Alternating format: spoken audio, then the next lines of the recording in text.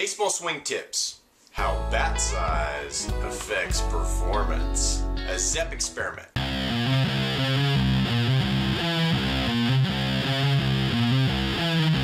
Hey, what's going on? It's Joey Myers from the Hitting Performance Lab. Question, how does bat size affect bat and ball exit speeds? Well, I did a baseball swing tips experiment using the Zepp Baseball app and the Bushnell radar gun to find out. For more information on background research for the experiment and the experiment setup, you can click the link directly below this video if you're watching this on YouTube under the Show More tab. Here's the gist of the experiment. I took 100 counterbalance swings using a Mizuno Generation 3330 BBCOR bat, and then I took another 100 counterbalance swings using a Mizuno Generation 3431 BBCOR bat. I wanted to find out how bat size affects bat and ball exit speeds. Let's take a look at how the experiment turned out.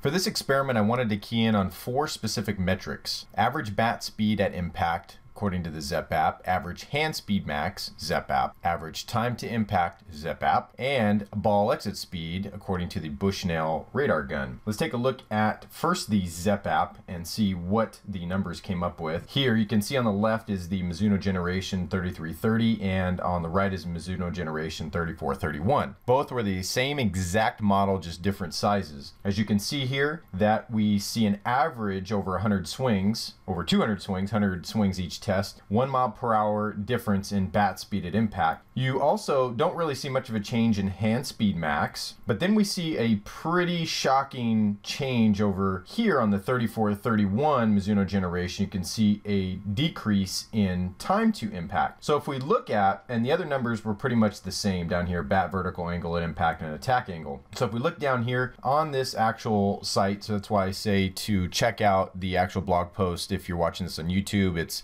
underneath the video under the show more tab. There's a link there, but I have the Google doc here that shows all the numbers, all the ball exit speed numbers. But what happened was on average, adjusted for misreads, we found that there was an average two mile per hour difference in ball exit speed higher on the 34 31 side. So let's take a look at the conclusion of the baseball swing tips experiment on bat size. Now, in conclusion, are bat and ball exit speeds affected by bat size? Well, the baseball swing tips experiment data suggests that when I used a 34-31 Mizuno generation, that according to the Zepp app, my average bat speed at impact increased by one mile per hour. And when I used the Bushnell radar gun, my average ball exit speed increased by two miles per hour. And what else is shocking is that using the 34-31 also had a clear decrease in my time to impact. So make sure that we're swinging smarter by moving better. And before I let you go,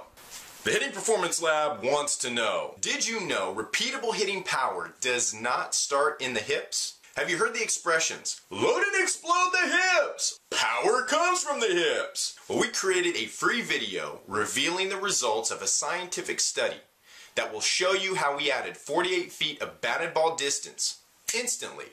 And it's not all about the hips. Click here now to get the video while it's still free.